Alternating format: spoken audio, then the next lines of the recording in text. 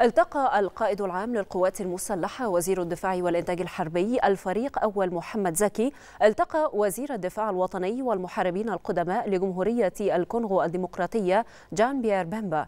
تناول اللقاء آخر المستجدات على الساحتين الإقليمية والدولية وانعكاساتها على الأمن والاستقرار داخل القارة الأفريقية. التقى الفريق أول محمد زكي القائد العام للقوات المسلحة وزير الدفاع والإنتاج الحربي.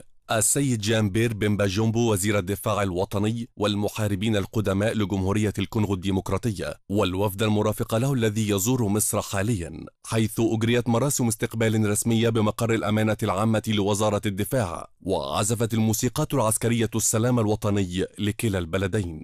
تناول اللقاء آخر المستجدات على الساحتين الإقليمية والدولية وانعكاساتها على الأمن والاستقرار داخل القارة الأفريقية في ظل الظروف والتحديات الراهنة. كذلك التفاهم حول زيادة أوجه التعاون العسكري بين البلدين في العديد من المجالات.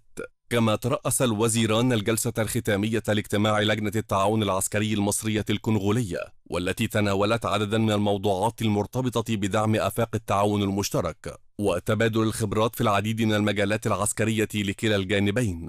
وأكد القائد العام للقوات المسلحة على اعتزازه بالعلاقات التي تربط القوات المسلحة بنظائرها من الدول الأفريقية مشيدا بما وصلت إليه اللجنة من مجهودات لتحقيق الرؤى المشتركة في كافة المجالات العسكرية. من جانبه أعرب وزير الدفاع الوطني والمحاربين القدماء لجمهورية الكونغو الديمقراطية عن تقديره لعمق الروابط والعلاقات التي تجمع بين البلدين الصديقين كما أثنى على الجهود المصرية الداعمة لكافة قضايا القارة الأفريقية.